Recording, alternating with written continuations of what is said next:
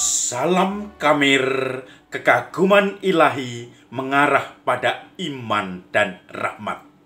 Saudara-saudari yang terkasih, apakah Anda butuh doa, buku-buku doa? Banyak yang sudah tersebar di mana-mana. Tahun 80 ada buku Adorote. Saya memuji adore adorasi uh, kepada kamu. T itu tuus kepada kamu. Memuji Tuhan. Kemudian ada buku puji syukur. Mada Bakti juga ada. Di dalamnya buku-buku ini berisi tentang doa-doa harian. Doa-doa yang menuntun Anda untuk bisa praktis mengikuti doa-doa baik novena, permohonan, maupun doa-doa simpel lainnya. Maka saudara-saudari yang terkasih, tidak usah bingung kalau mau doa. Misalnya bingung mau ngomong apa.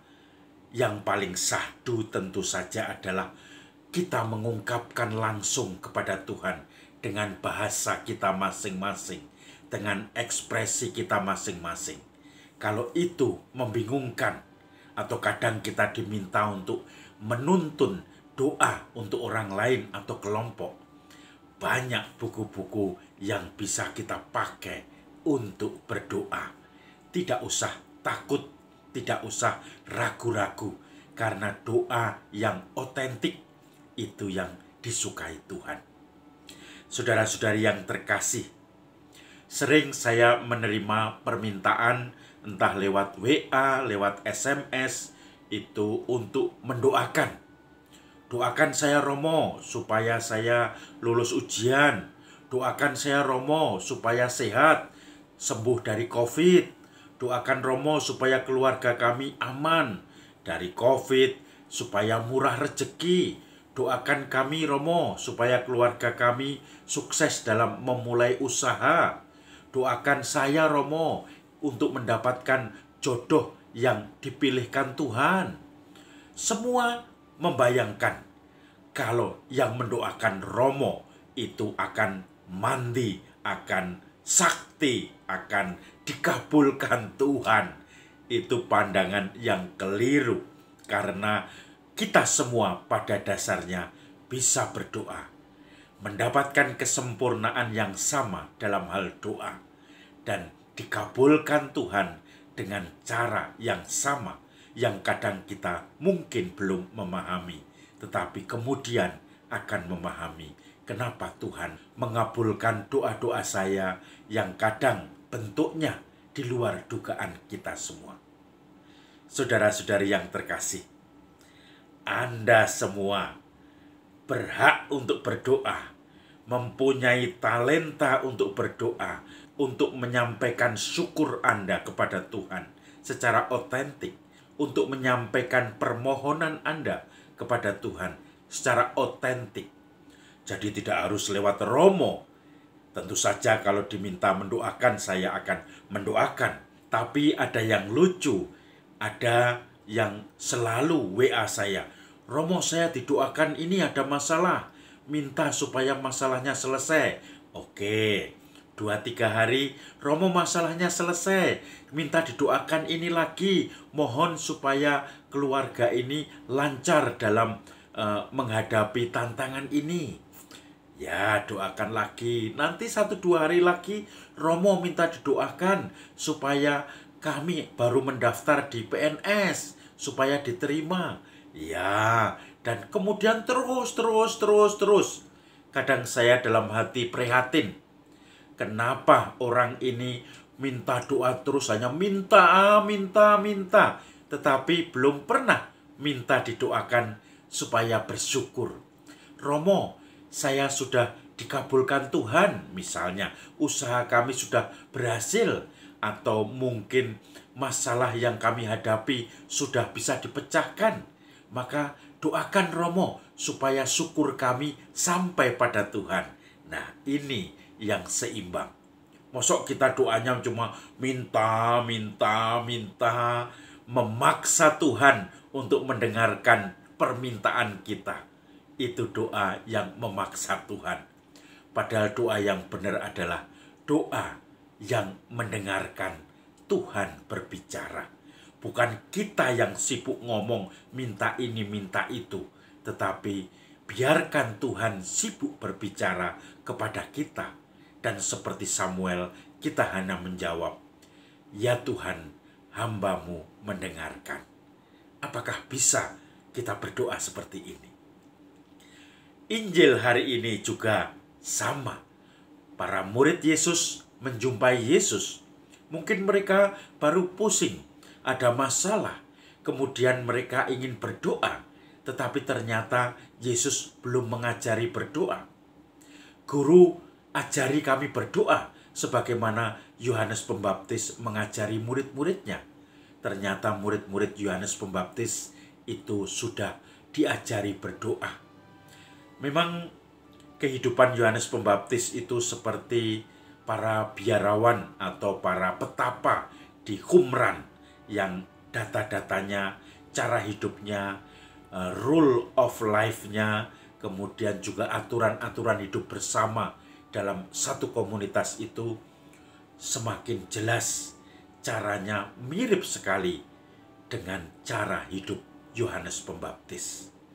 Maka mereka juga mempunyai berdoa bersama maka mereka juga mempunyai kebiasaan doa bersama, kebiasaan syukur bersama, dan itu dinampakkan dalam hidup komuniter sebagai petapa yang mulai hidup bersama.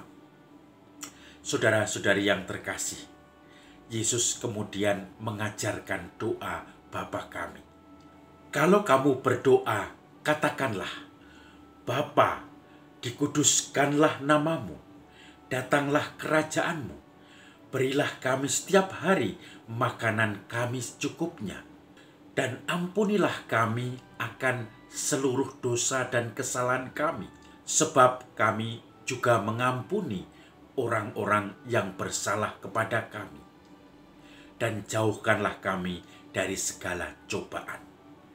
Saudara-saudari yang terkasih, ajaran doa Bapa kami ini dalam versi Lukas berbeda dengan versi Matius. Kalau Lukas ini ada lima permintaan.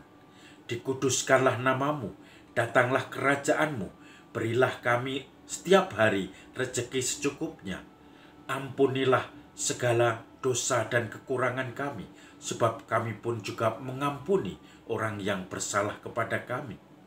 Dan yang terakhir, janganlah membawa kami ke dalam pencobaan. Lima.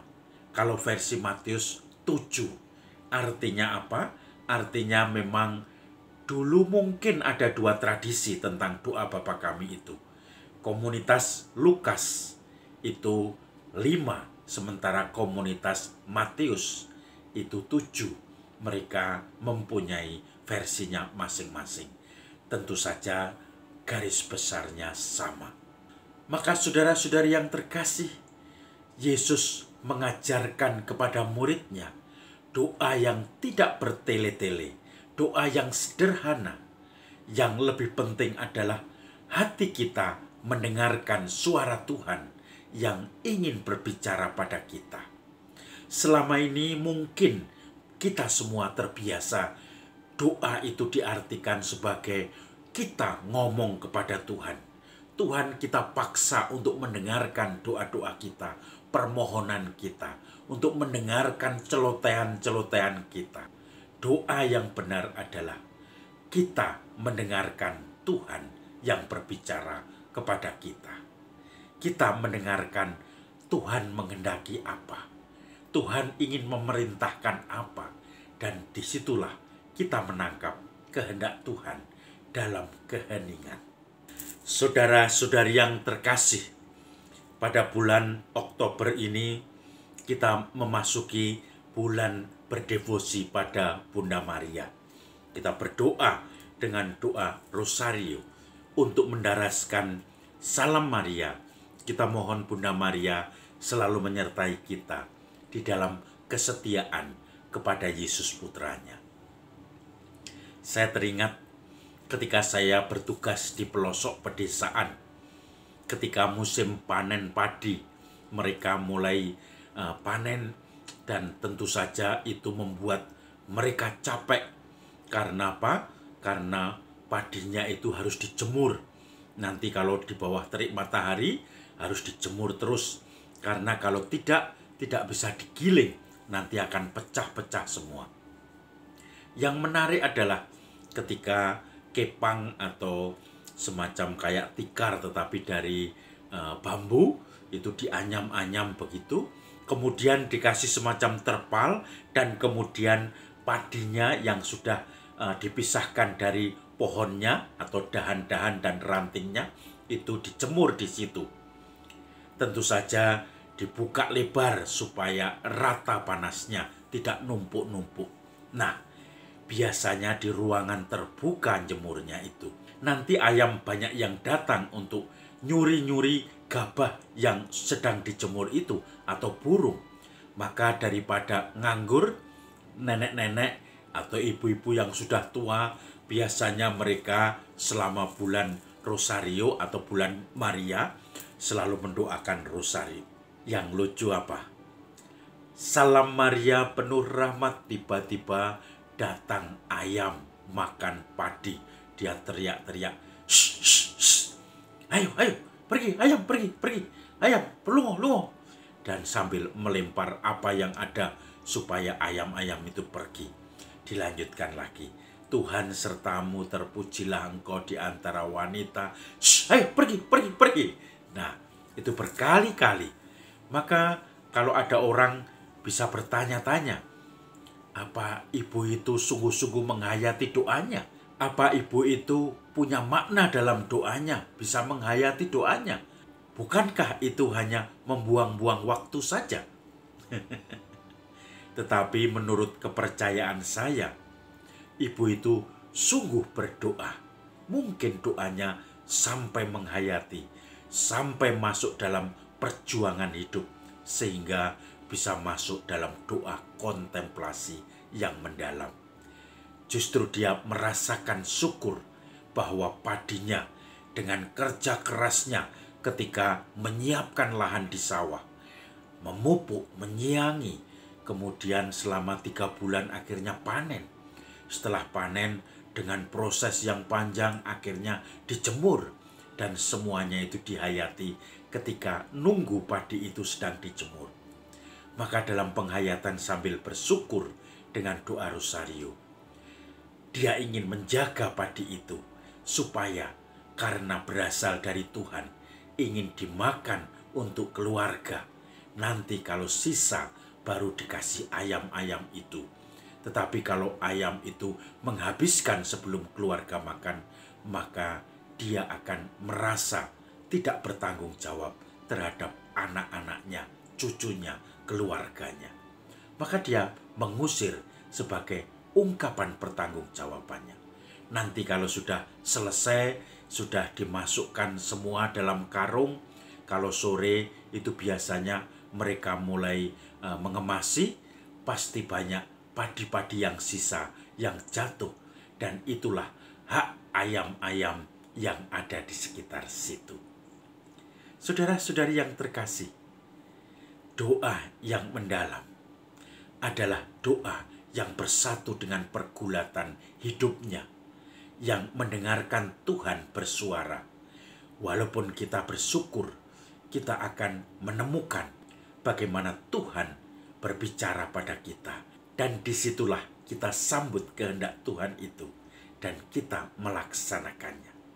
Maka doa-doa kita mulai bermakna karena didasarkan pada perjuangan hidup kita perjuangan untuk keluarga kita, perjuangan untuk mereka-mereka yang menjadi tanggung jawab kita. Sekaligus doa itu menjadi semangat bagi kita untuk menghadapi kesulitan-kesulitan ini. Maka saudara-saudari yang terkasih, semoga nama Tuhan selalu dimuliakan.